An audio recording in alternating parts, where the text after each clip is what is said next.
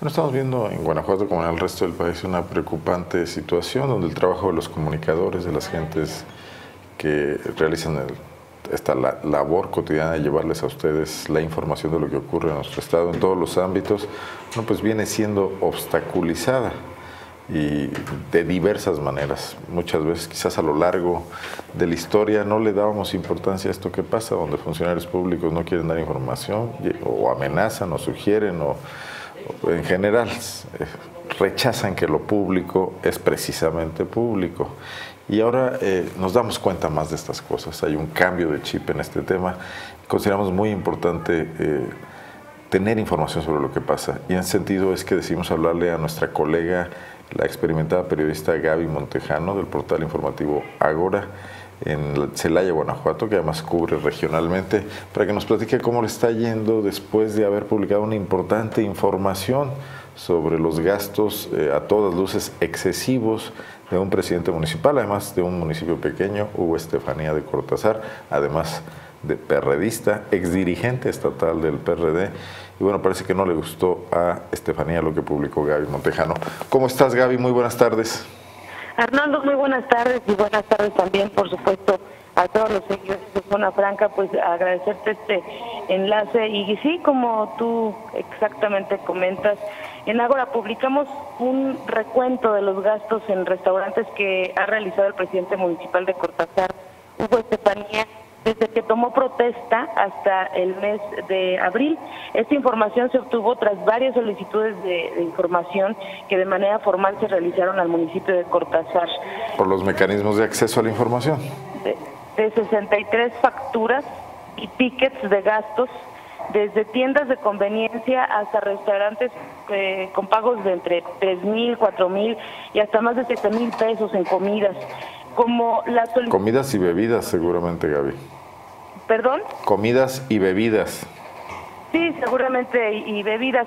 Lo interesante es que, bueno, el, resultado de estos, eh, de esas peticiones no fue tan sencillo, sino que tuvimos que estar insistiendo en la información y parte de la información que se solicitaba era eh, con quién se había gastado, o sea, en qué evento o, a qué correspondían, eh, y también especificar la factura, la fecha y, todo lo que tenía que ver con estos gastos, que son de dinero público, hay que hacer mucho énfasis en esto, ¿no? o sea, ¿no te los dieron así como marca la ley con los plazos de algunos días hábiles de promedio?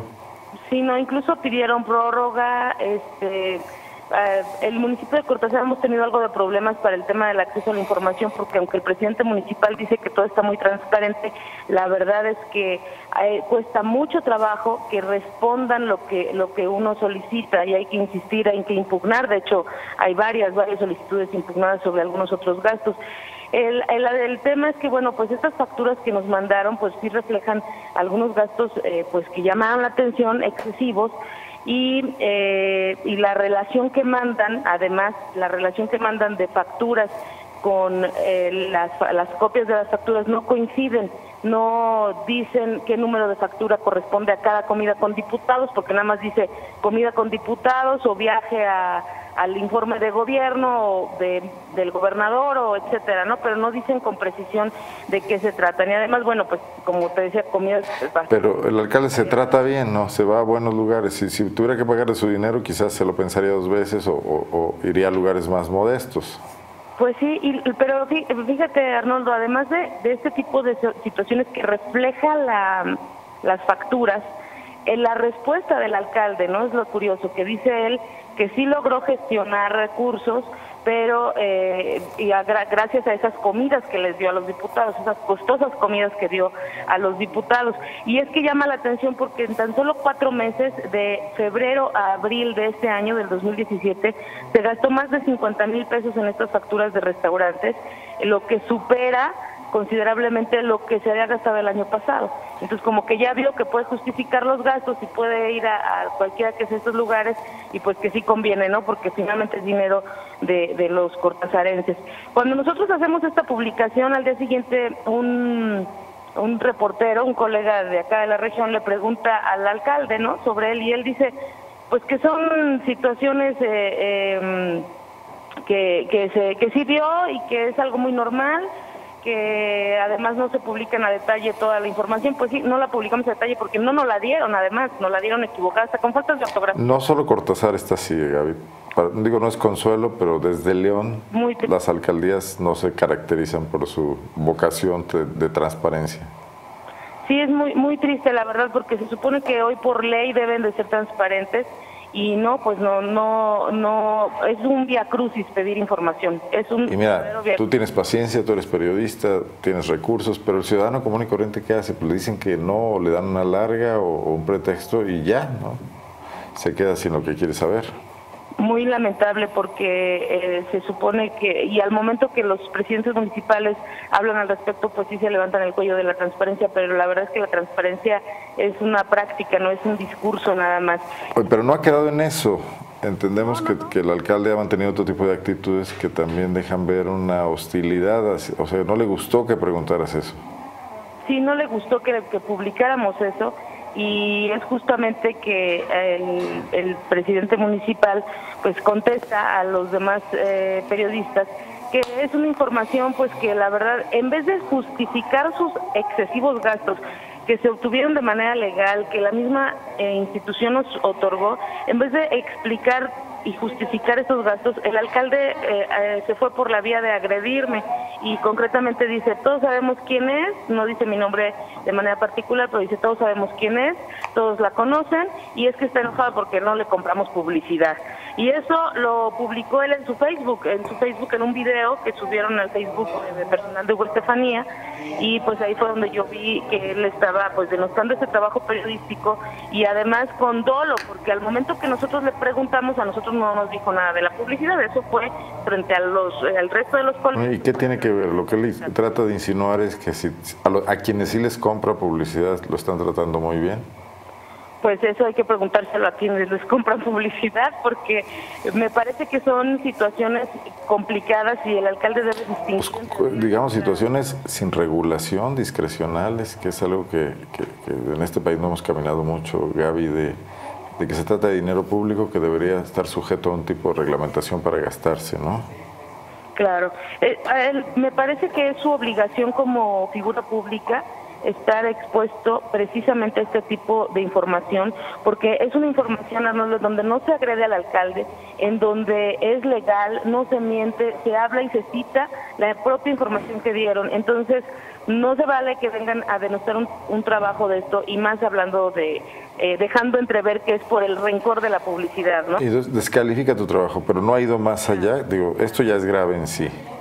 Sí, me parece que fue, no es la primera vez que el alcalde hace eso con mi persona y con el medio que, represento. Así que sí fui, esta ocasión sí, fui a, la Subprocuraduría de los Derechos Humanos aquí en Celaya, presenté al día siguiente de la declaración del alcalde una queja por esta situación, por atentar, me parece, contra la, la libertad de expresión y además pues es la libertad de informar, ¿no? Sobre los, los dineros públicos. Me parece que eso es algo básico y es la función del medio de comunicación. O ese es, nuestro trabajo en realidad. Pero bueno, eh, presenté la, la queja, fue aceptada se abrió el expediente y pues bueno, Hugo Estefanía tiene esta semana, me parece que hasta el jueves, para poder eh, pues contestar ante esta queja que hay que recordar es la segunda queja que tiene Hugo como presidente municipal por una cuestión... Y por razones muy similares, ¿no? Así es, así es, porque él siempre evoca el tema de la publicidad, él siempre, y, además se le ve molesto cuando declara este tipo de situaciones. me parece que hoy debemos de de dejar muy claro que la información es un derecho de todos los ciudadanos y bueno, de manera particular pues que los cortazarenses sepan de, beber eh, también en qué restaurantes están gastando su dinero, ¿no? Y, y, si les parece bien que sus alcaldes por los que votaron se, se den esa opípara vida con el dinero público. A ver, Gaby, pero sí. me parece muy, muy, muy delicado esta forma de mezclar las cosas del presidente municipal porque ni siquiera contestó a lo que tú estabas exponiendo. O sea, hoy los ciudadanos de Cortázar no saben por qué su alcalde gasta ese dinero en restaurantes, porque decidió no contestar. O sea, aparte de denigrarte, omite una respuesta, omite una aclaración. Y bueno, lo lamentable es aquí que sea con la complicidad pues, de otros medios, que, que tampoco les interesa el tema, ¿no? Pues eh, la verdad es que eh, respetable el trabajo de cada uno de los medios de comunicación en esta región, pero eh, el presidente municipal, como te digo, si hablamos de publicidad, el tema es que efectivamente, Arnoldo, él nos, nos decidió no eh, contratarnos publicidad en este año, porque el año pasado nos contrató un, monto, eh, pero aún como nos contrató, eh, él pensó que lo íbamos a investigar y fue cuando sacamos el tema, ¿te acuerdas de las de las tarjetas de débito que les mandó a poner el logo perrevista? Sí.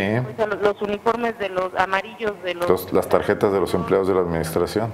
Así es, y además sacamos una información en donde pues eh, hay testimonios pues de los mismos empleados municipales que los... Y te quitó la publicidad. o sea, él buscaba controlar al medio por la vía de comprarle publicidad. Así es, sin embargo el medio ha sido así, siempre ha sido la línea así de investigar y de exhibir o exponer cualquier situación que, que sea de noticia y sobre todo que tenga que ver con las cuestiones públicas, eh, pero bueno, pues el presidente municipal parece que utiliza la, el tema de la publicidad para poder eh, pues em, hacer sus relaciones públicas no en esta materia entonces es muy lamentable y como tú lo señalas pues es el tema no es solamente en Cortázar pero bueno de manera particular yo sí presenté esta queja contra el presidente municipal porque sí me parece que esto es lo que necesitamos que se que se regule, que se observe, que se siga con lupa al momento de que hablamos de la protección del ejercicio periodístico, Arnoldo. Muchos capítulos pendientes por avanzar en materia de respeto y de, pues, eh, que digamos, garantías para el trabajo periodístico por parte de las autoridades. Eh, Gaby, no quiero desaprovechar hablar contigo, que eres una periodista que tiene una visión muy clara de lo que ocurre en la zona Laja Bajío, la zona eh, centro-sur de Guanajuato. ¿Te parece que pasemos a otro tema? Sí, claro.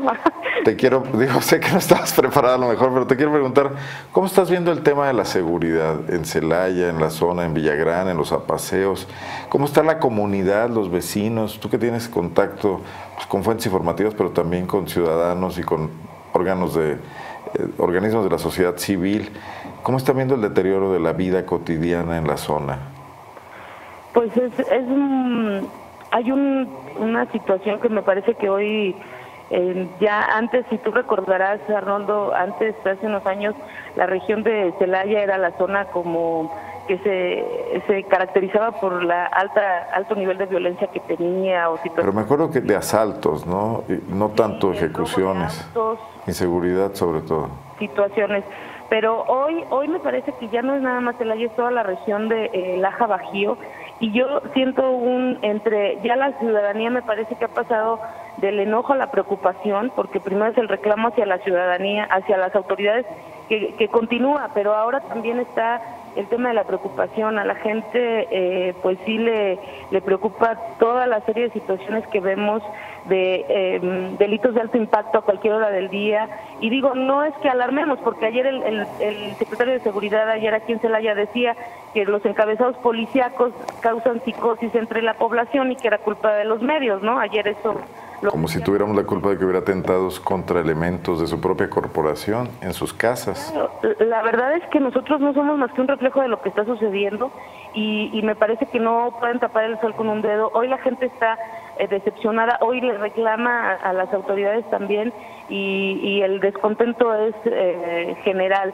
Eh, me parece que hoy el discurso ya de estamos mandando 300 elementos y vamos a mandar a otros 300 y vamos a mandar más, la verdad es que ya no a los ciudadanos porque nos han venido manejando. Las cosas no mejoran y la situación sigue y empeorando. Entonces, me parece que sí es un tema muy, muy grave y que sí requiere la atención, por supuesto, de, las autoridades pues municipales y estatales, que dicen que están trabajando, pero no se ve, no, no, la gente no percibe ese trabajo, si es que lo están haciendo. Eh, y los alcaldes queriendo reelegirse, Gaby, eh, en lugar de atender las cosas, bueno, lo merecerían si trabajaran, si dieran resultados, pero antes de dar resultados ya están pensando en... Eh, lo que viene en 2018. Y, y eh, lo peor es que piensan en, el, en la reelección y no hay tampoco, no solamente en el tema de seguridad, sino en general se ve un, un desorden. De manera particular me parece que en Celaya hay situaciones en donde no se ha avanzado absolutamente nada como eh, algunos temas pendientes, el tema del transporte, la gente sigue con descontento, el tema de las luminarias y las cuestiones administrativas, pues tampoco dejan contenta a la gente, el tema de la basura, es decir, es, un, es una situación que si ya lo ves de manera global, pues no hay algo eh, que, puedan vender como carta de presentación para la reelección y sin embargo no lo descartan. Todavía están con la luz encendida de que pudieran reelegirse. Algunos incluso de los regidores y, y, síndicos que forman parte del ayuntamiento, que hoy, bueno, pues tendrán también esa opción. Muy bien. Gaby, bueno, qué bueno que presentaste tu denuncia en derechos humanos. Vamos a estar atentos, vamos a preguntar. Ya son muchas las denuncias que se acumulan en el escritorio de Raúl Montero de periodistas por actitudes agresivas de funcionarios. Eh, y bueno, pues además le daremos seguimiento a esto. No dudes en estar en contacto. Nosotros trataremos de estar en contacto contigo por si las cosas también eh, siguen. Yo creo que también hay que estar atentos a esto, no, no abandonar las situaciones, no confiarnos, no creer que pues que así es normal la situación entre un reportero y un funcionario. No es normal, no debería de serlo. Y vamos a estar muy atentos si te parece a tu caso. Gracias Arnoldo, muchas gracias por el espacio y un saludo pues a todos los seguidores de Zona Franca. Buenas tardes. Ágora Informativa es tu portal. ¿Nos recuerdas la dirección en la que se puede leer?